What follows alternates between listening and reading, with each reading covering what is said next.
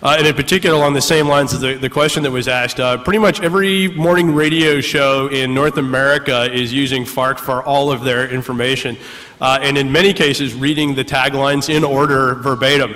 Uh, on top of that, uh, most mainstream news has somebody monitoring us to use for pieces of it, uh, and then all the late night talk shows. Leno has used some headlines straight off of Fark. and I know for a fact that Jimmy Kimmel's show has a guy whose hired job is to read Total Fark. I met the guy. He's uh, got a pretty interesting job, I guess. But uh, what's interesting about that is, is that it isn't really a problem that they do that. I mean, it, it's, it's not that big a deal. I don't consider it to be stealing because, I mean, honestly, who cares? And in particular, there's so much of an upside if you can get them to admit they're doing it. Um, like, for example, there's really no benefit to us at all for filing a lawsuit against Jay Leno. What we really want him to do is say, and on Fark today, I saw blah, blah, blah once a week at most because it sounds a little bit weird to do it more often than that. And so that's what we want to do. And we've been talking to the Daily Show for the last two years trying to convince them to do that. There's an interesting problem though in that, um, and I didn't realize this up until recently. I was talking to somebody who's a writer for Leno. And I asked him about that. I was like, could you please mention if you pull some stuff from Fark, because they're generating tons of stuff off of us, mention it, you know, once or twice a week. And they said they actually can't do it as writers because of Writers Guild of America regulations, because that's treated like product placement. I called the Writers Guild to double check this and they confirmed it. It's actually true. The only people that can authorize that are the network themselves. Yeah, and there are also union contracts where they can't say they got a joke or a line. right. So there's like there's all kinds of legal issues surrounding it, and so that's actually it's not really necessarily that they're trying to slight us on that. It's that they actually they don't understand what the legal ramifications are, and so rather than delve into it, they're just going to skip it entirely. Well, there's no via link in any media except the web right? Yeah. No, there's a kind of a loose journalistic thing of, you know, well, this is the original source for this if somebody breaks a story. But yeah, and the Fox News guys said too, like I said, we just don't do hat tips, period. I mean, we never have, we never will. Um, but to give you an example of how the mainstream media works, I've been on CNN and Fox multiple times, and in their control rooms, they've got this giant ass, like, wall-sized screen divided up into segments, and along the top, in CNN and Fox and all these guys, they've got each individual network. They've got ABC, CBS, NBC, MSNBC, CNN, Fox. They're watching all of them simultaneously, waiting until one of them puts up a breaking news alert. They blow that one up on the main page, and then they write it up and send it out to their anchor, who then repeats verbatim what was just said on the other channel. Which is how you get something called what I call the mysterious repeating source, where occasionally somebody will quote somebody in the news and it'll end up all over the place, and it turns out that it actually was one guy that was misquoted.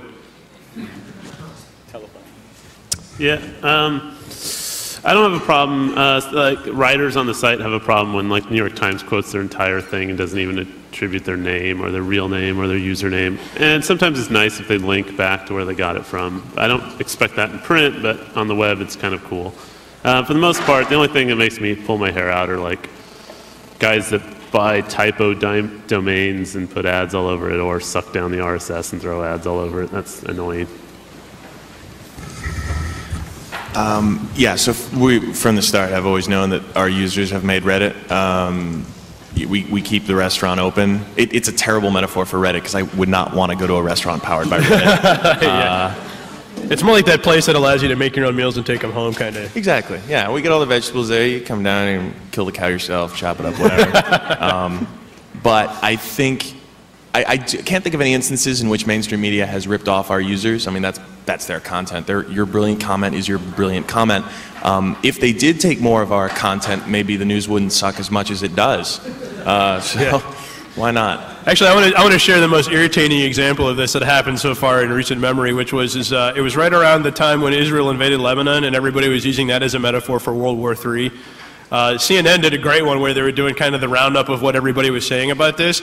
And the three sources that they used where they show what was going on in the Daily Show, they show was on the Colbert Report, and then they showed up what was going on on the internet and screenshots of Fark. Never once mentioned Fark, it was the internet. So I guess that's kind of flattering, but it didn't do us a damn bit of good. Hey, um, I have a question specifically for Drew. Uh, first off, I got to say, uh, Fark.com was my uh, entryway into the wonderful world of memetics. Um, Richard I'm glad you said that. I was afraid there was some kind of drug reference coming up, but I was going to deny everything. no, no, the wonderful, yeah. uh, and well, it was sort of through the looking glass for me. And um, I just have a question that is for me, devoid of any conflict. I just want to know what was behind your decision to uh, let your picture be prominently displayed on that uh, conservative T-shirt site, thoseshirts.com. It's sort of Oh yeah, they just asked me. I said, yeah, what the hell, why not? yeah, yeah. That was it. yeah. That's it. I was like, all right, whatever. I don't care. I don't know why they wanted it, but I, I'm fine. I like the easy yes or no questions. Do we have Yeah. any more of those? I think we had one down here. Well, actually, the shirt that I think that they had me wear was the one where it's like I just neutered the cat and now he's French. Uh, I thought that was a funny joke, so I was like, all right, I'll just go for it. I wear it when I play soccer. It's a good time, especially when we play the French teams. Matt, I've heard you express some uh, conflicted emotions about the sort of insular culture of in jokes and references that can crop up on Metafilter sometimes, but I think this applies to probably everybody. Do you feel like having in jokes and, and community memes and things like that is the sign of a healthy community, or is it just sort of exclusionary wankery? Um, I mean, I've always been of two minds. Like, it's just, it's, so, it's a double-edged sword. Like, it does show that your community is strong enough that the same people sort of recognize each other and recognize trends and patterns, and they sort of make fun of that by always, they just make up a joke and they just run with it. And then, I mean, after a week, it's not funny anymore. After a year, it's not funny anymore. Two years later, it's still not funny. Yeah, but three years later, it's funny again. Yeah, yeah. exactly. Just way long enough. It's like The Simpsons. and I, I don't like, Am I right? And I think of like in jokes, and uh, uh, I mean, sometimes it comes up, it, it becomes like jargon for the people in the know. They know what you're supposed to say here, here, and here to do the three step joke. Um, and it comes off as like, it just makes the site cryptic to new people, and I don't like that. I don't like a lot of jargon. Um, so, I mean, it's the sign of a strong community, but it can also become exclusionary and not be funny. Are there any in jokes on your guys' sites that you actually like, that you see and you're like, every time it makes you laugh? Wake up, sheeple. That's a good one. And that's it. Okay, one more question. Um, who else has a question? I thought I was, see some more back here. Put some hands up, people. Make a question up. There's one. You have three steps to think of a question. All right, I, I know Drew has a, a whole section dedicated to Florida, but um, And it's not you- big enough. yeah, yeah, no, totally. But um, do you guys feel that you should be more local? I mean, everybody here is sort of U.S. centric, or maybe just global news centric. I mean, I don't know. We actually do a lot of stuff with the sports. I lived in England for a year, so I'm kind of sensitive to what goes on there and the fact that they have a completely separate pop culture full of really shitty acts we've never heard of before. And they're uh, homely, too. What's that? They're homely. The stars in the UK, why aren't they more attractive? It's the teeth. Oh, come on. I lived there for a year. Trust me, it's all real. But uh, yeah, so I try to keep an eye on it just because, especially with Canada as well. I mean, there's a lot of really funny stuff going on up in Canada that we never hear about, especially their politicians. I mean, boy, if you think our politicians are weird, you got to check out Canadian politicians. I mean, you know, they got guys trying to secede up there. You know, I mean, how awesome is that? So yeah, we try to keep an eye on it. And plus, too, I think I like living in Kentucky because it kind of it frames my reference a little better. You know, when you live in a flyover state, it's a little you, you tend to have a different view of things and how much absolute and utter horseshit is covered coming out of New York City. I actually spent one morning watching a tarp fire on the 59th 7th Street Bridge in uh, New York City. They broadcast it live on CNN and Fox for about an hour and a half. It was crazy. Uh, wait, I got. I'll throw it in. Um, I guess uh, kind of talking about the U.S. centricness of, of these websites. Um, I know we're, we're trying to do translations to get people from other cultures to uh, submit music to us. Um, what, what languages have we got, man? The big one is Japanese. Um, there's a whole other sort of video game remixing scene in Japan. It's not centralized, and we're trying to reach out to them. But we've also translated our submission instructions into French and Spanish. So we're actually trying to work on, on being a more global resource when it comes to video game remixes. Uh, going along with allowing users to create their own little communities, um, about 40% of our traffic. Get Chris closer to the in mic. Oh. Chris is in the audience. Is about 40% of our traffic comes from abroad, Statman? Yes? Okay, awesome. Chris has also been heading up the internationalization effort, which is why the Reddit UI is now in a shit ton of foreign languages, including LUL. Um, and then some ones that people actually speak.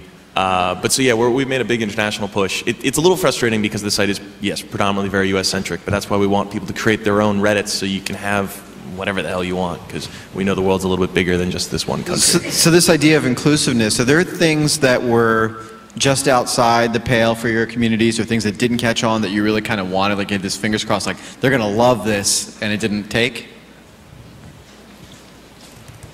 Yeah, it's happened before. Unfortunately, one of the topics was discussed ad nauseum in a previous to- uh, discussion forum here at the uh, con, so I'm going to avoid that one.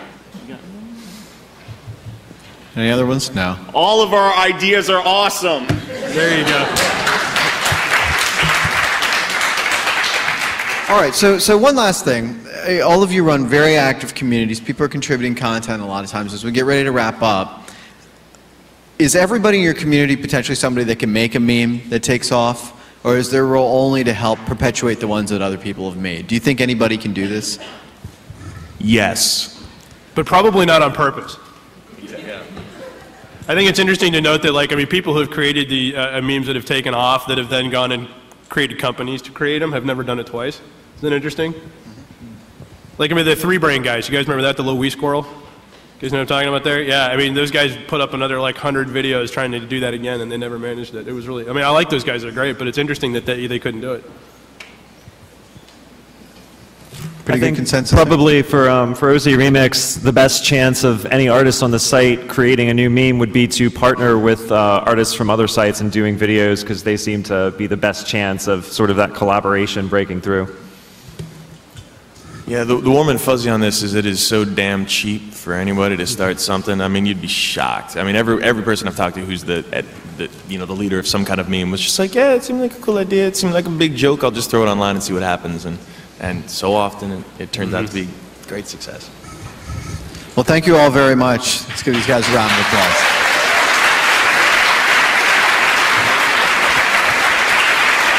Yes, we do. Uh, send me the, uh, the stuff you guys are putting together on uh, for what's his name, stealing all the uh, music and stuff like that. Yeah, yeah, send that to me because the smoking gun guys might be interested in that. Thanks a lot, guys. Um, ice cream is outside, so if you want ice cream, get out of here. Whatever, that sounds like the kind of shit they're interested in. I got the Brawndo shakes. I got the Brawndo. And uh, don't forget some TripAdvisor. Hey, if anybody wants an OC Remix t-shirt, come on over. We're selling. We'll talk to you guys. Ryan, man, what's up, man? Hell yeah. Oh my fuck.